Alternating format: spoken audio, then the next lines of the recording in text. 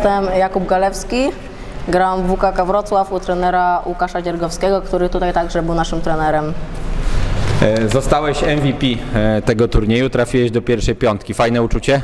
Bardzo, super. E, Powiedz mi, jak oceniasz cały turniej, który w waszym wykonaniu był taką, im dłużej graliście, tym lepiej, lepszą formę prezentowaliście i chyba wszystko co najlepsze zostawiliście na finał. Tak, z każdym meczem graliśmy coraz lepiej i byliśmy na fali.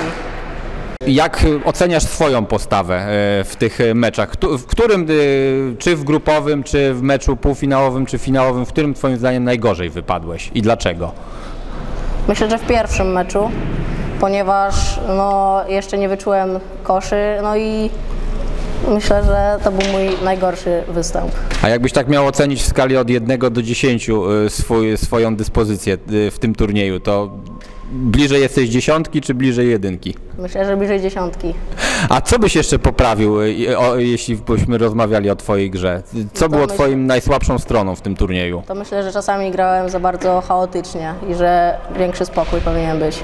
E, W finale rozpoczęliście od wyniku 10-0. Pomogło wam to dać grać dalej, bo, rywale wrócili, ale wy chyba widać było po was na ławce, że strasznie dużo energii te Tak, pierwsze akcje wam e, dały. E, Wszyscy zawodnicy na ławce bardzo nas do, dopingowali. Dzięki temu też łatwiej się grało nam na boisku. A jeśli chodzi o rywali, y, trudne warunki w finale postawili wam? Na pewno. Bardzo dobra obrona. W ataku też dobrze grali, no było ciężko.